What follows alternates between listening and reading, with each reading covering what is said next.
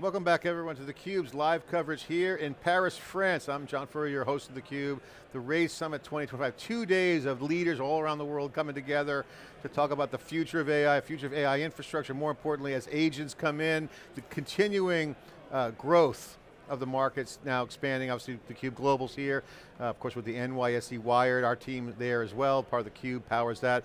We got another co-founder here, president of products at Snowflake, Benoit, great to see you, CUBE alumni, yeah, thanks for coming on. Yes, great uh, seeing Dave you Vellante tends to do all the interviews because he, I have to, he hogs you, so like, I got my shot. Um, we've both been covering data since theCUBE started 16 years ago, the Hadoop wave, we saw that happen there. Um, just watching Snowflake rise up and just be so successful from day one, it's been a great testament to what you guys have done, so congratulations. Thank you. Now the market is going kind of next level. And Snowflake Summit, you guys talked a lot about how you guys are looking at that platform. Give us a taste of what's happened in the past, because we're at the midpoint of the year. Take us through what the first half was like for you guys internally, the company, the customers. We're in a transformative mode. What were some of the key highlights from the first half of the year? Yeah, so, so what is great, right, is, is the, you know, when we started, just, just to go back a little bit more than half a year ago, when we started Snowflake, it was really to integrate, you know, structured data with semi-structured data. And now it's about unstructured data. It's all, you know, making that data first class in the platform. Mm -hmm. So we, a lot of our customers, they want to know how to integrate this new type of data. And I said, you know, like structure and, and semi-structure being on the same roof, you know, unstructured needs also to be part of your full, you know, data assets because you might join, you know, information which are unstructured data with information which are structured. So it's very important, like like Hadoop and data warehouse should have been combined, you know, and yeah. that's what you know Snowflake did. We, we really want to do the same thing with unstructured data. So a lot of capabilities have been added to the platform, AI capabilities. The AI is the SQL for this type of, of data, and of course RAG and search. So a lot of, of uh, activity on that part. We announced also AI SQL. Mm -hmm. So, you know, bringing, elevating SQL to be also the, the, the, the, language to query unstructured data. And that's really fascinating because it's more than just a language, it's also the, the way you get all the performance. You really need to pack a lot of usage to your GPUs. You don't want to leave any idle cycle on your GPUs, yeah. right? This is very important, so optimization. A lot of work has been on performance, optimization, cost. Um, on the SQL side, so you're optimizing infrastructure as part of your product roadmap to make sure that the utilization. Yes, that's that's you know is part of of a data platform is you know efficiency yeah. and efficiency translates to cost. So with GPU it's even more important, right? We you know, when we started Snowflake, there was no, you know, when we structure data, there is no need for GPUs, but still, you know, CPU cycle is, is a really uh, important, you know, uh, currency. Mm -hmm. So you have to use every cycle yeah. and you know how you vectorize execution. Yeah. So it's the same thing for GPUs. Yeah. How you bring data to GPUs, how you do that efficiency, how you overlap the different stage of a, of a pipeline is... is uh so there's a lot of innovation under the hood going yes. on that you guys yes. are spending time on. Yes. It doesn't get the, the sexy headlines but it's really the must needed work. I mean, that's the, you know, it, it, it goes, you know, bottom up. Uh, you, you, need to have that before yeah. you do the sexy thing. Yeah, um, so one of the things that I loved about Snowflake, you did combine the data warehouse. You guys really pioneered data cloud, which we covered. Um, but the market of analytics is operationalized, or it's out there. Yes. The Gen AI hype came up very, well Gen AI was not really kind of a thing, but it got hyped up so fast, people confused uh, operational analytics mm -hmm. with the magic of generative AI. So as that, those two years have happened, yeah. where, are you, where are you now on the product side saying, okay, there's an intersection between analytics and Gen AI. What's that look like to you? Because now it's starting to get real. You mentioned RAG, you mentioned some of those use chatbots and those use cases. But now when agents start to get in there, what's on the roadmap? What needs to happen? What's the sequence of events? Yes, so, so AI has three, three aspects, right? As I said, without AI, there is no unstructured data in the data platform. Yep. So AI is really the tool to understand unstructured data. Uh, and to extract, you know, that information to be able to process it. You know, you talk about search and RAG. Uh, that's also very important, right? Yeah. You know, in structured data, you need workloads to search data, right? Yeah. So RAG is, is the equivalent for unstructured data. Now that's that's that's why AI is so important for the data platform. Unlike you know any other product, right? We need AI for unstructured data. Then there is the part which is more common is how to interact with data in natural language. So how Yeah. to leverage the AI and the capability of AI to translate and to convert uh, natural language to potentially SQL or natural language to a search query. Yep. And you know, agent is the layer on top of that, uh, uh, which is about you know creating very focused you know AI product agents Yeah. and in- integrate you know many agents you know together to perform you know complex tasks and Yeah. and uh, th- so that's you know wh- where the platform is going. One thing which is which is critical, and maybe you are going to mention about that is is is the semantic you know. That was my next question. Yeah, so at Snowflake Summit, you announced semantic views. Yes. So define what that is and why is it important? So why it's important is is um, so semantic is about not you know the definition of data, right? The definition, the cataloging of data is a table, and I have columns, and and these are the name of these objects. But it, it's not the semantic, the understanding, and oftentimes.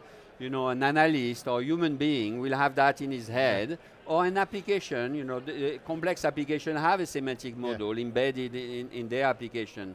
But now, if you want AI to replace the human and, and be able to ask you know, direct question to the AI, the AI needs to have this understanding. So you need to push that inside the platform. So really, modern data platform is, is one layer, level zero if you want, is the mm-hmm. data.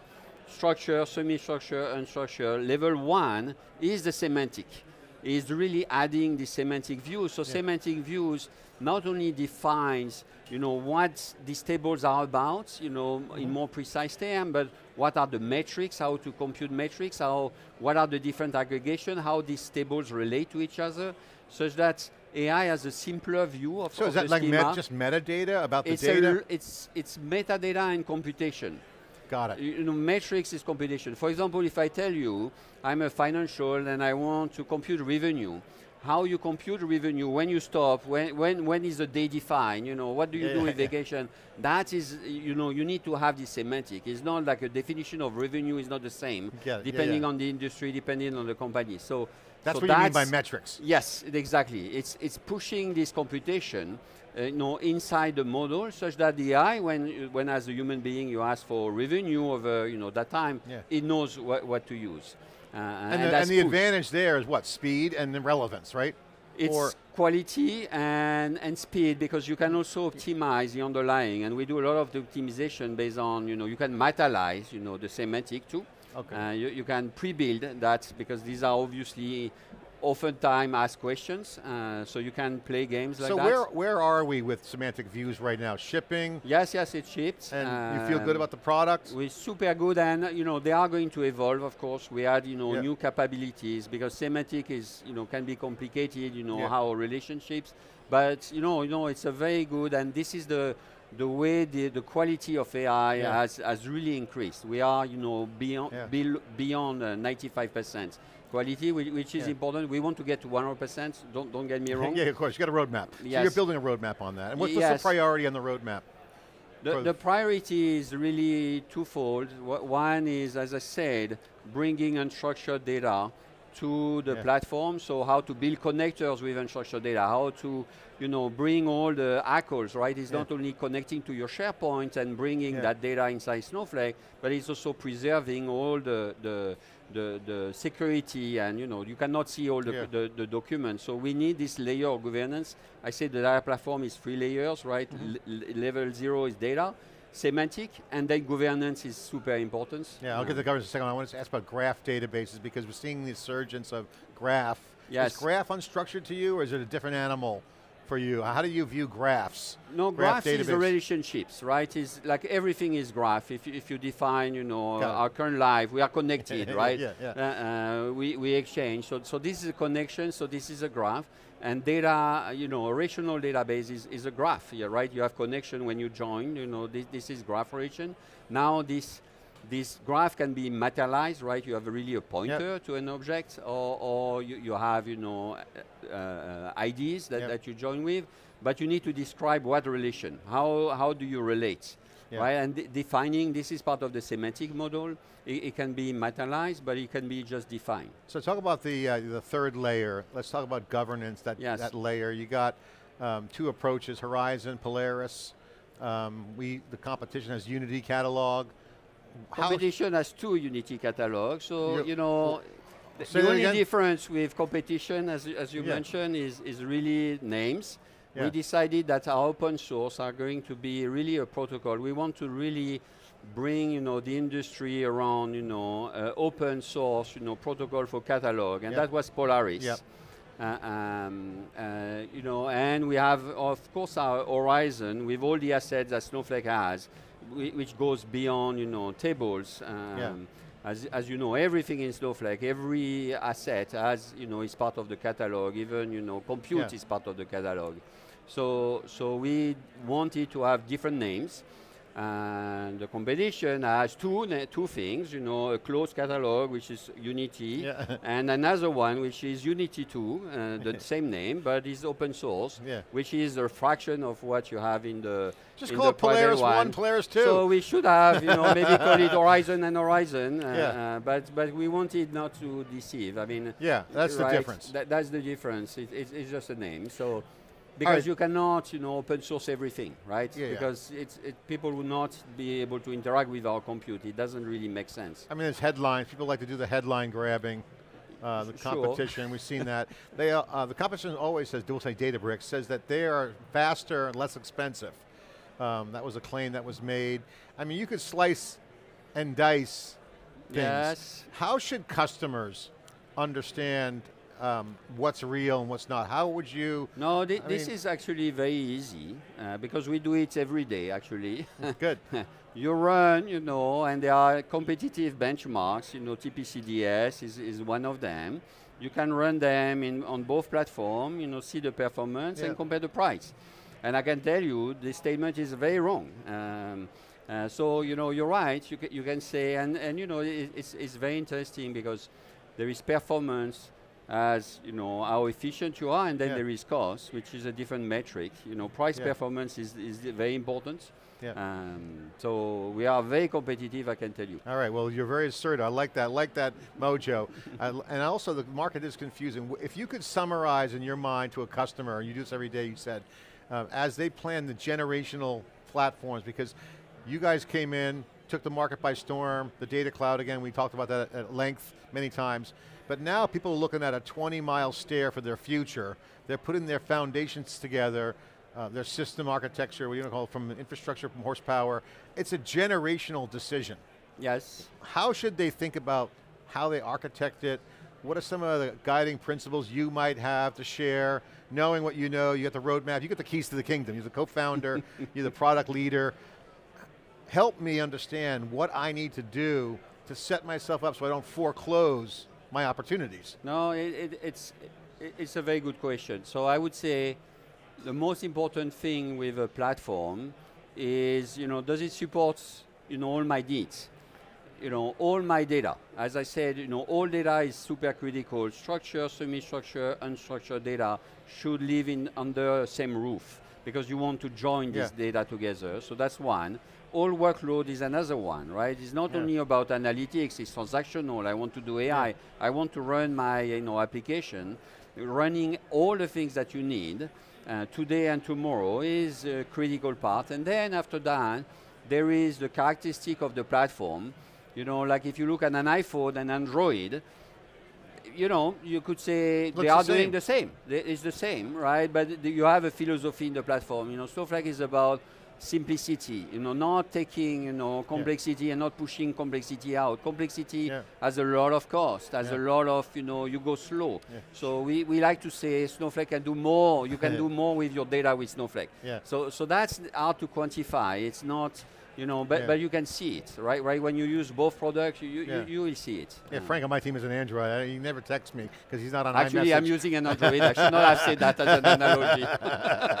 All right, so I have to ask you about Paris because we're here in Yes. France. Um, uh, conferences, in, international conference here. Um, it's very crowded. What's your, what's your? This is great. Yeah. I, I love it. I have to say I love it. I, I like, you know, I am, you know, still uh, French at heart, and, and, I love, you know, Europe, you know, the, the, the yeah, the energy, creation, innovation. Yeah. So it's, it's really good. It's good. really fun. You know, yeah. when I heard about Raise and I was asked to, uh, to attend, I say, oh yeah, I, oh, I want in Paris. be there. Yes, yes, Great wine list here, good food. Uh, I'm coming from the south of France, so okay. you know, Paris yeah. and uh, I like chill. the south of France, but a little but chill I in like the south Paris of France. Too. Now you're yeah. in this big but city. But it's Europe, right? Right. I like to think yeah. about Europe. Uh. Yeah, Benoit, great to have you on, and again, congratulations. And final question for you, um, as a co-founder, um, I love companies where founders are still driving the agenda. Um, what's exciting you right now? Obviously, well, competition makes you better. I love that. Um, what's what's your mind like right now, leaning into the products? What are you optimizing for? How you feeling? Share your thoughts. Yeah, to me, what, what is super exciting, of course, is AI, but, but everyone will tell you that answer, so it's not you know, an amazing answer. But AI, as I said, in my lifetime, I would never have thought that you know data platform could bring unstructured data. So this is a huge revolution in yeah. my mind, and we are just at the beginning of that revolution. And the other part, which I'm very passionate, I gave this example with iPhone, is is direct interaction with the data platform. You know, uh, uh, democratization of access to data. And AI has a huge you know, role. You can now talk to your data. Any business user can directly use this data platform. Yeah. It used to be you know, only for geeks. Uh, yeah. Now everyone can use it, yeah. and you know we we are working on that, and that's super exciting to me. Yeah, I have uh, two computer science degrees, and one of them was databases, and I never really talked about. It, I was talked about the opera. Hey, what do you do? I, am a database person. I mean, uh, uh, you go back in the '90s, it wasn't really fashionable to be no. like a database. It was very small industry. Now it's mainstream. You're, you're, you're right. You know, I did my PhD in databases, yeah. so I was really born in databases, and I love databases because it was both operating system, yeah. It had part, uh, you know performance, parallelization, it had yeah. language, yeah. you know, a lot of language in databases, so it's very complete as yeah. a science. Uh, computer science, so that's that's what I liked about data. Yeah, well, congratulations, and again, thanks for coming on theCUBE. It's always great to see you uh, at the summits. Uh, great to spend some yes. time with you personally. Yes. Dave Vellante, shout out to Dave's yes. on vacation. I get my time. Thanks for coming That's on. great. Appreciate you. Thanks a lot. Right. Okay, bye-bye. Zia, the co-founder of Snowflake, one of the, the, the first data cloud provider, leader in unstructured, structured data, powering the, the Gen AI and the analytics revolution as data goes mainstream and AI takes over the world. I'm John Furrier, your host. Thanks for watching.